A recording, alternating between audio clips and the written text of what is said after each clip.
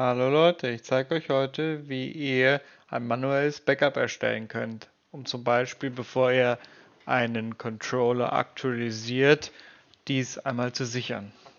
Wir gehen einmal auf Zahnrad.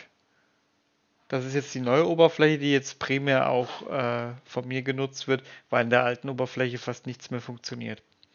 Wir gehen einmal auf System, hier könnt ihr auch die Sprache ändern, müsst ihr gucken. In dem Fall ist es jetzt erstmal die hier.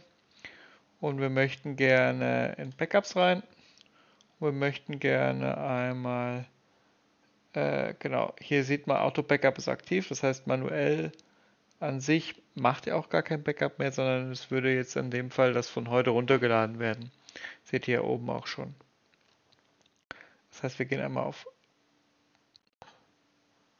weil wir würden den Auto-Backup-Haken rausnehmen und dann müssten wir im Normalfall gehen wir mal auf Download und würden einmal hier zum Beispiel sieben Tage auswählen, Download und dann würde er jetzt ein neues Backup machen.